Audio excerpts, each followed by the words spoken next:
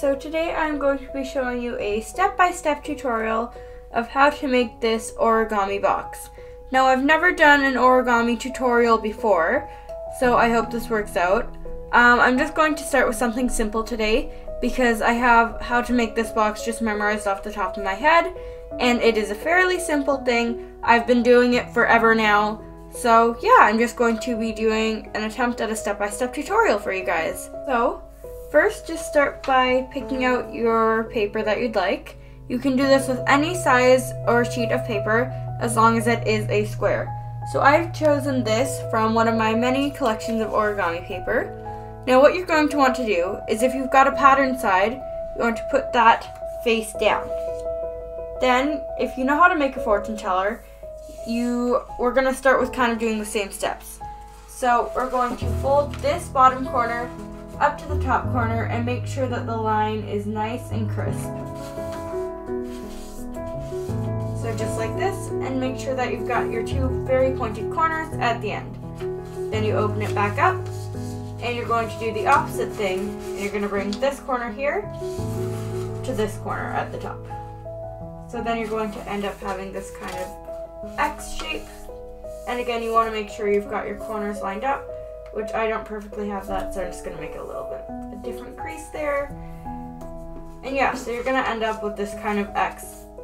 And then you're to take each of the corners, and you're to fold the corner right to the center.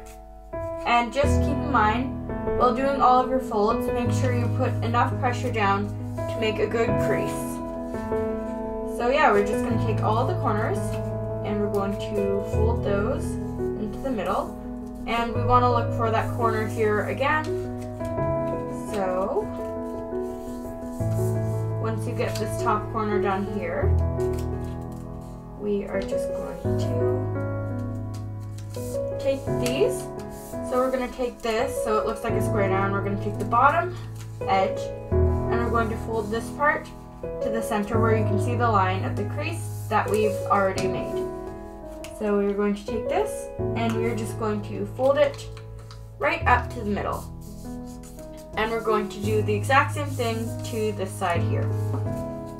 So you're going to take the bottom and you're going to fold it right to the middle. So it meets up with the other flap. And once again, we're making sure we've got nice creases. And then you can open those back up so you'll end up looking like this, so it's got folded, so you can kind of almost just stand it up like that. Then you're going to do the exact same thing to the other two flaps. So you're going to bring the half to the middle crease, and you're going to make a nice fold, and you're going to do the exact same thing on this side, bringing it to meet the other flap.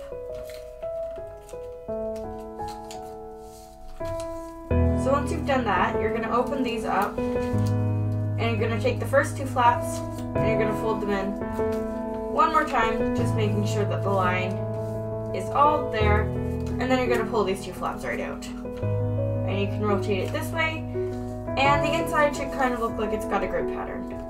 Then we're gonna take these two flaps, and we're gonna fold them in again, just so we can get a nice crease right here, and right here on that side.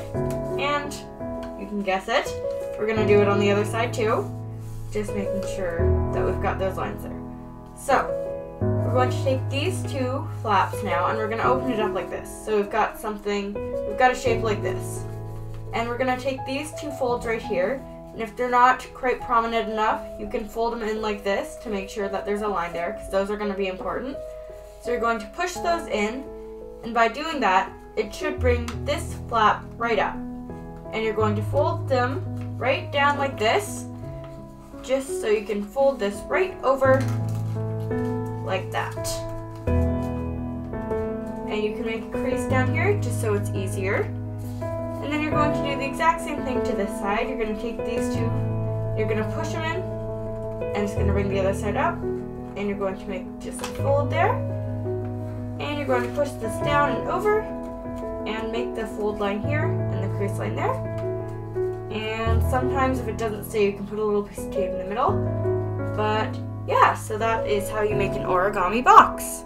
Thank you guys so much for watching. If you'd like to see more origami in the future, I would love to show you some more tutorials. So yeah, this is our finished box. And as you can see, we've got the pattern on the outside and on the inside.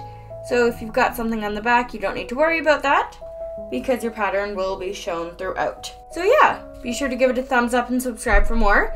And let me know if you've got any tutorial suggestions in the future. Thank you guys for watching and I love you guys all so much. Bye!